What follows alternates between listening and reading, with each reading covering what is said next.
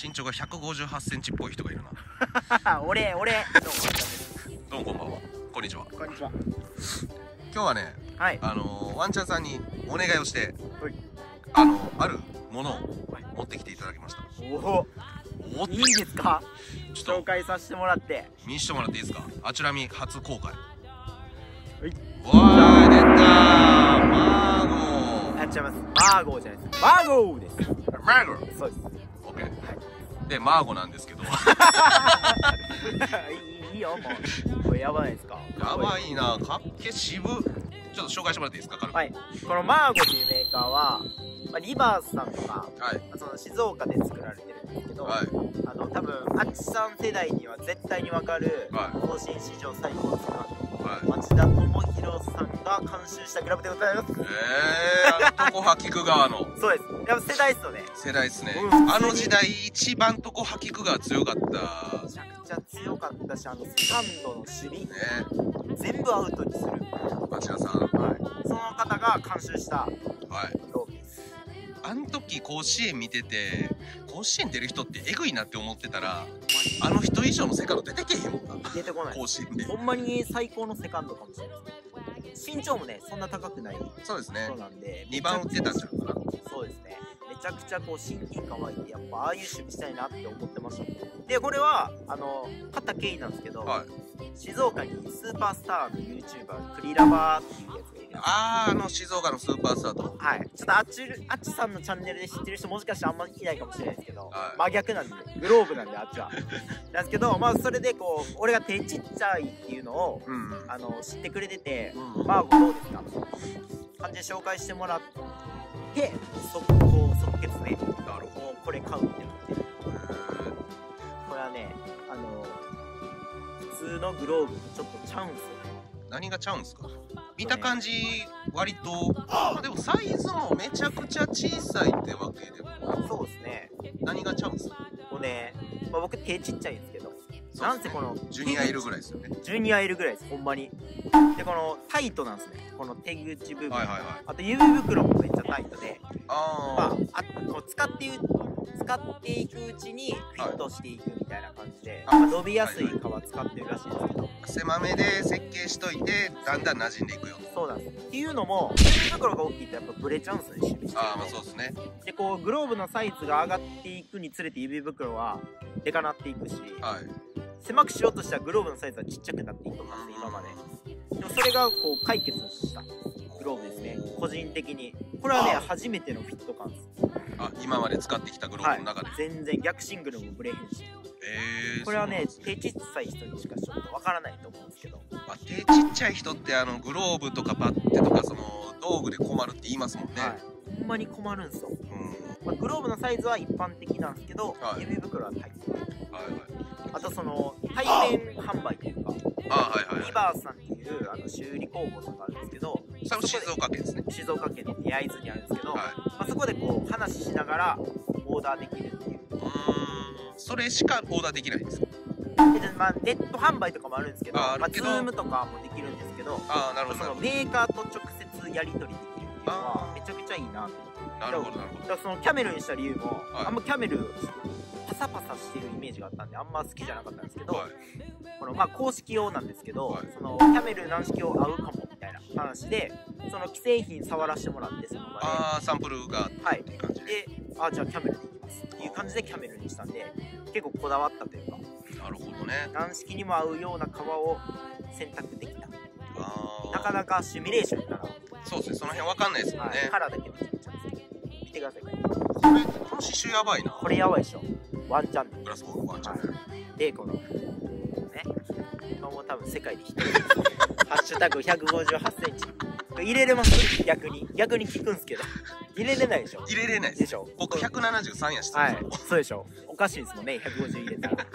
おかしい。これ俺だけだだからあのハッシュタグ158センチにはじゃああの著作権があの発生してるってことですか？そうですね。簡単に言うと。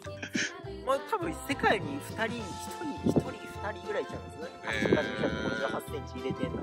なるほど。ですねで刺繍はこの中指小指だけですか？そうです。でまあこれも直視なんですけど。ああ直視ですね。かっこいいで。すねグレーハイサイズカラー。ああなるほどなるほど。でで内側がねキャメルとああレッドじゃない。ブラック。はい。です。レースもキャメですね。キャメです。ああなるほどなるほど。これねかっこいなぁいいなぁこれなかなかねみんな褒めてくれます。あこれかっこいい。あとはあの技術だけです。ーグローブは揃ったんで。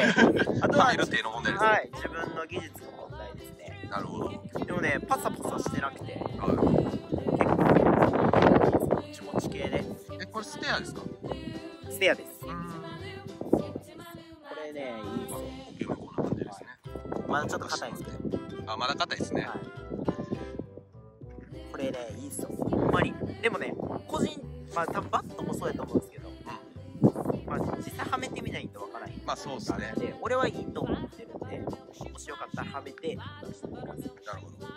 その手の中の部分がちょっと怖くて今までオーダーできんかったんですよね。確かワンちゃんさんはね。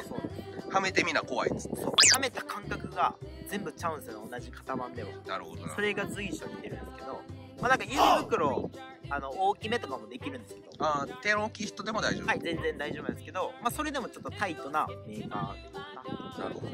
結構尖ったコンセプトで確かに。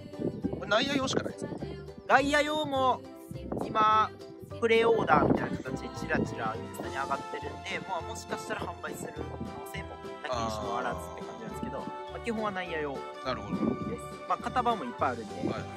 ちなみにこれ型番はなんてやつですか？これはね H01 っていう型の 5mm アップで作ってます、ああなるほど。結構こういう補給目広めのタイプですね。これはどっちかって言ったら。なるほど呼吸面広めってのはなんかこだわりですか？うんなんかね僕土手が広い方が好きなんですよ。ああなるほど。あスラッガー的な？はい。それがこう自然とまあこう黒ずんでるところがそうですけど泥とかはこっちでできたら取りたくてあでもぐらいはこっちで取りたいって感じで、まあ、補給面をしてるとかまあしっなるほどですね興味あります？でもああっちあっちさんのチャンネルグローブ。のグローブみんな好きやから。あれグローブ好きか？みんなグローブ好きやかこれねマジでねで初オーダーなんですけどらはい。なんか全然後悔してないしうんなんか高いと思わなかったですねほんまにじゃあ最後にお値段聞いていいですか？これはね5万8000円でもねあこれねプレオーダーなんで、はい。本オーダーがいくらかまだ発表されてないんで正直わからないんですけどオーダーする前にプレオーダー、まあ、例えばこのキャメルのどんな革質かとか、ーはい。まあ、これをバスケットにしたらどんな感じになるかみたいな感じのお試しプレオーダーがあってその時にオーダーしたんで値段はちょっとね本オーダーはちょっとあああなるほど。はい、これからって感じですね。そうですね。まあもしかしたらこの動画出る頃には発表されてるかもしかれない。もしれないしまあもしかしたらグレーがヘリ側ない可能性もあるしちょっとその辺カラーはねまだそのカラー変わるなるほどで。すね、はい。かっこいいな。これもうずっと使いますよ。これはもう墓まで持っていく。持っていきます。もう2個目欲しいぐらい。このフィット感は。へーワンちゃんさん基本ショートですよね。ショートサードセカンドああ。内野。じゃあ次はあのピッチャー用ですね。ピッチャー用欲しいです。ねはい買いましょうおすすめ教えてください。スミレスポーツですね。出たよ。出た。視聴者さんに聞いてるんですよ。視聴者さんじゃああのワンちゃんさんにあのおすすめのピッチャー用ね。ぜひ既製品でも OK 全然てかもうちっちゃめ手ちっちゃい人におすすめのピッチャー用グローブ。ですね。あとボロさばきやすいやつああなるほど。がっちり系はちょっとがっつりピッチャー用はたっぷりなんで。じゃああのここにキューボって書いておきますね。はい。お願いします。教えてください。これでもあれですね。タイトに作ってるってことはもうほんまもう勝手にはめられたらもう「ラッチめ!」ってやつです。いやほんまそうなんです。よでもこれがまた YouTube やってるからよかったんですよ。あこうやって言ってるからあんまは,、まあ、はめていいですかって言ったら、ね、いいですよって言うんですけど僕も一回はめさせていただはいいたんです入らなかったんですよね無理無理無理。結構僕もまあこの辺ねイコール締めとかにしてるんでは狭いダンスかもですけどい、はい、それでちょっと思いたいと思いますなるほど。じゃあ2022年以降ワンちゃんさんの左手にはマーゴが。マーゴ僕がアウト取ったら自然とこう大阪市内からマーゴーって聞こえるんで いやほんまに。この前なんか IP 使ってるのマーゴー聞こえてきましたからね。もうようわからん現象が起きてる、はい。まだちょっと試合ではねまだちょっと硬いんですけど、はい。ここから鳴らして試合で使えるようにしていきたいと思います。わかりました、はい。ありがとうございました。ありがとうございました。というわけでね本日の動画以上となります。チャンネル登録いいね応援コメント。であちらみの動画もう一本見ていただけると嬉しいです。で草野球ワンチャンネルさんのチャンネル登録。書き概要欄からよろしくお願いします。それではお疲れ様でした。失礼します。お気にありがとうございました。これ初ですね。まだ撮ってるやん。まだまだ撮ってるやん。もういいやん。